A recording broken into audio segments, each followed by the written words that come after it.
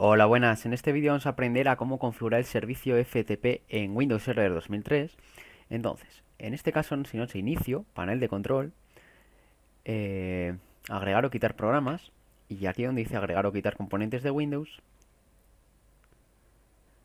buscaremos abajo el que nos dice servidor de aplicaciones. Clicaremos e iremos a detalles.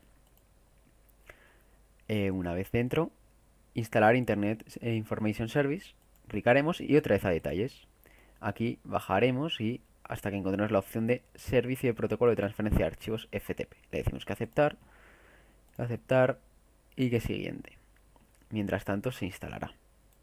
Una vez ha terminado, le diremos que finalizar. Nos iremos a inicio, herramientas administrativas y nos aparecerá la opción de administrador de Internet Information Service, el cual le daremos y vemos aquí en grande que aparece esta opción de sitios FTP.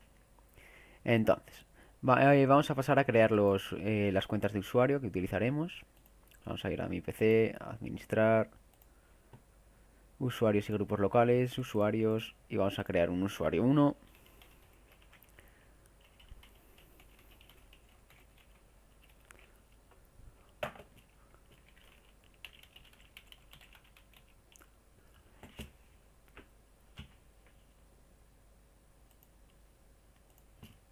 Y un usuario 2.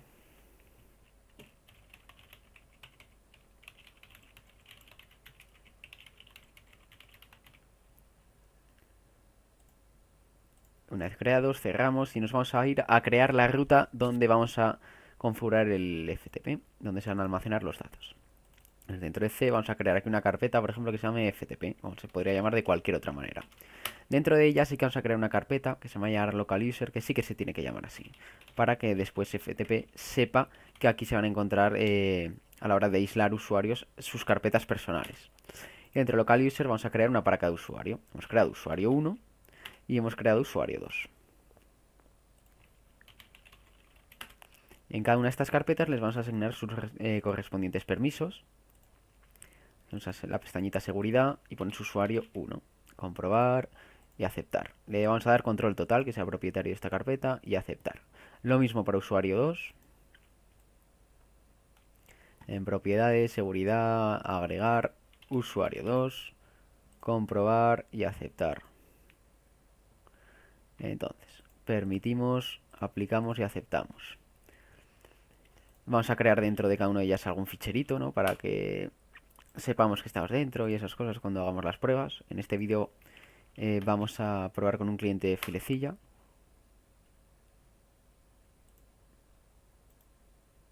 Vamos a crearlo .txt.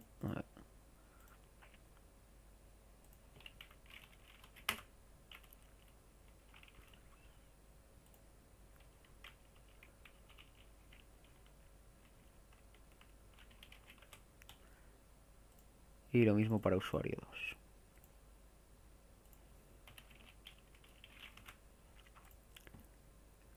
Entonces, ahora ya eh, nos vamos a ir aquí al administrador de internet eh, del, de servicio web. Vamos a hacer en sitios web, clic derecho, nuevo, sitio FTP.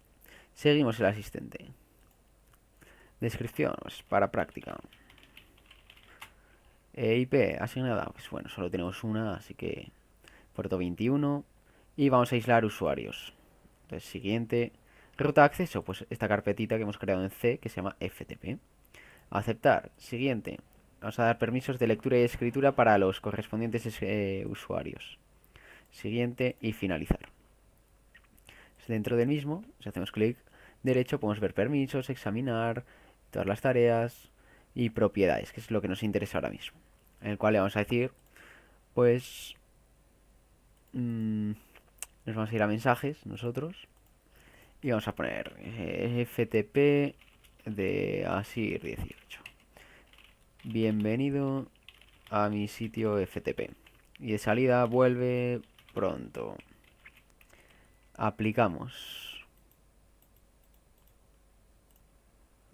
Y cerramos ya. A ver. Vamos a eh, detener e iniciar el servicio para reiniciarlo por si acaso. Y ya nos iremos a nuestro cliente, que vamos a utilizar un Debian en el cual vamos a lanzar filecilla.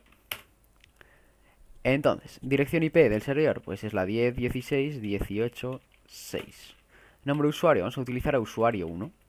Y de contraseña, la nuestra, de usuario 1, local, y puerto 21, hemos quedado que era. Conexión rápida. Y vemos que estamos aquí, donde hemos creado el ficherito 1 y que no puede volver atrás, que está enjaulado, por así decirlo, no en esa carpeta 1. Vamos a crear nuestro un directorio desde aquí. Vamos a llamar prueba 1. Y dentro de prueba 1 vamos a crear un fichero. Se llame estoy aquí. Punto .php. Entonces, nos vamos a nuestro Windows Server. A mi PC. Disco local C. FTP. Local user. Usuario 1. Y vemos que aparece la carpeta que hemos creado, prueba 1, y el ficherito estoy aquí, .php. Entonces, Vamos a probar que vemos si nos metemos como usuario 2. Cambiamos este usuario 2. Conexión rápida. Y le decimos que aborte esta, esta conexión y que inicie la nuestra como usuario 2. Tenemos aquí, vemos aquí usuario 2, arroba tal, tal, tal, tal. Y vemos que estamos en U2, que vemos U2.txt y que no hay nada más aquí que se pueda ver. Entonces, eh, vamos a crear un ficherito por hacer algo.